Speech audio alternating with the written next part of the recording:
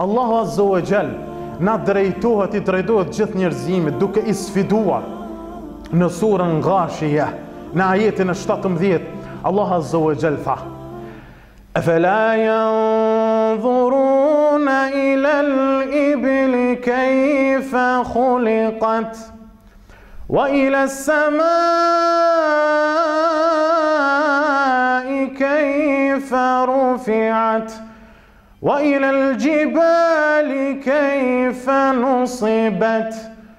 Wa ila al-ardi kayfa sutihat. Tha, a nuk e shikoni o ju njerëz se si janë krijuar devetë? A nuk e shikoni o ju njerëz se si janë ngritur qiejtë? A nuk e shikoni o ju njerëz se si janë vendosur kodrat dhe malet? A nuk e shikoni o ju njerëz se si është shtrirë toka?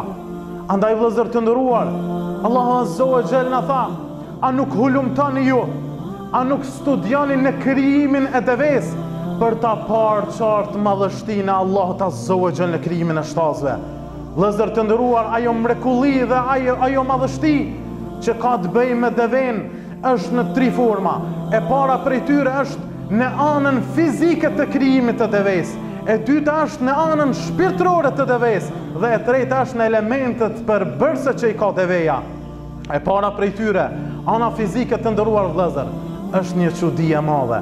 Vërtet është diçka fantastike dhe diçka briljante të studiosh dhe të hulumtosh në krijimin e devesë. Për këtë arsye Allahu tha, A nuk hulumtoni dhe studioni në krijimin e devesë? Shiko vëlla i dashur, sytë e devesë janë të përbërë prej tre qepallave. Sytë e njeriut janë të përbërë prej dy qepallave, kurse të devesë prej tre. Dy të nderuar vëllezër i shfrytëzon për pamje, kurse qepalla e tretë është një lloj perdeje, e cila e mbron devenë kur është duke udhëtuar në shkretirë dhe ka mundësi që pluhuri i shkretirës ta godet, ajo është një perde mbrojtëse për sytë e saj. Subhanallah. Pastaj vëllezër të nderuar, a nuk meditojmë dhe hulumtojmë në veshët e devesë, të cilat janë shumë të vegjël në krahasim me kokën e saj dhe që janë të përbëra prej disa qimeve, të cilat e mbrojnë kur pluhuri i shkretirës çohet lart, e mbrojnë atë që të mos dëmtohet. A nuk medituam vëllezër të nderuar kur Allah tha meditoni në krijimin e devesë, e cila është e përbërë në lëkurën e saj dhe në trupin e saj me një lesh, i cili ndërron varësisht prej stinave. Nëse është stina e dimrit, leshi i saj bëhet i dendur dhe shumë i shpeshtë, për ta mbrojtur nga të ftohtit. Dhe kur vjen stina e verës të nderuar vëllezër, ajo i rrallohet leshi i saj në mënyrë që të mos djersitet nga temperaturat e larta që ekzistojnë në shkretirë. Andaj vëllezër të nderuar, a medituam ne thellë në krijimin e devesë të nderuar vëllezër, që e ka gungën e saj, që në të cilën mblidhen të gjitha dhjamërat që pastaj kur të mbetet deveja pa ujë, atëherë asaj i jep ujë, ajo e ushqen vetveten dhe i jep fuqi devesë. Andaj gjitha këto të nderuar vëllezër kanë të bëjnë me anën fizike, a nuk medituam në këmbët e devesë të nderuar vëllezër?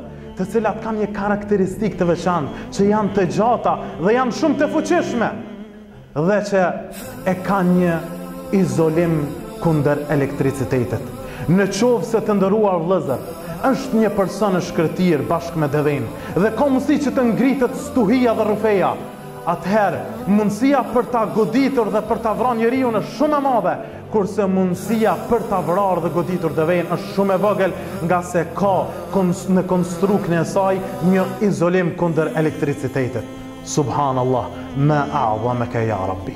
Sa i madh dhe madhështor ja Allah në krijimin që ke bërë në këtë dunja. Andaj vëllezër të nderuar, Pjesa e dytë që ka të bëjë me devenë është pjesa shpirtërore.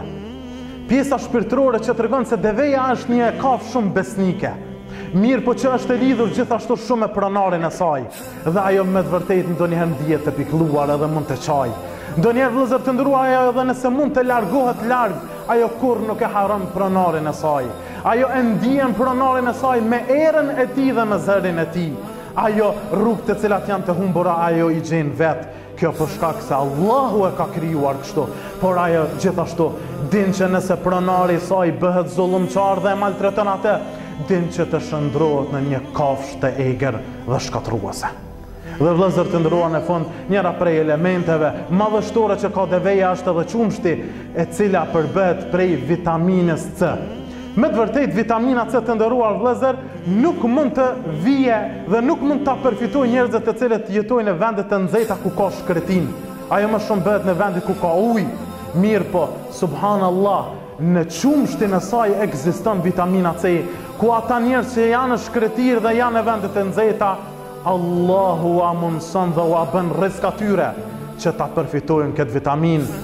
Kjo vetëm me lejen, kjo vetëm me madhështinë që din ta bëjë vetëm Allahu fuqiplotë.